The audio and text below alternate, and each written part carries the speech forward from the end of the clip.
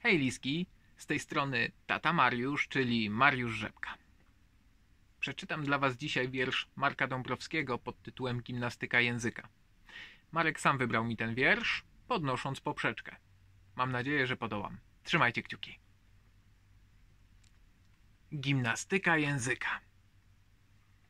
Gimnastyka języka jest modna salenie, a mama twierdzi, że wciąż seplenie. Językiem mi kazę miesać w buzi ciągle, ze się wnęt na nim srobiły bąble.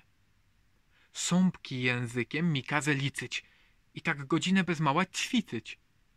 Później udaje, że jem słodyce, a teraz ciastecka zjadane lice. Psy tym w lusterko mam zerkać, taka to placy języka męka. Dmucham balony i robię minki, językiem macham jak małe psinki. Ta gimnastyka mi zbrzydła już. Kiedy ja wreszcie będę miał luz? Czy moja męka zostanie wiecna? Znowu mam nosa dotknąć cubecka? Kiedyż to będzie? Koniec mieszania. W buzi językiem zębów szukania? Gdy trzeba ćwiczyć, ja się nie lenię. O! Co się stało? Już nie seplenie.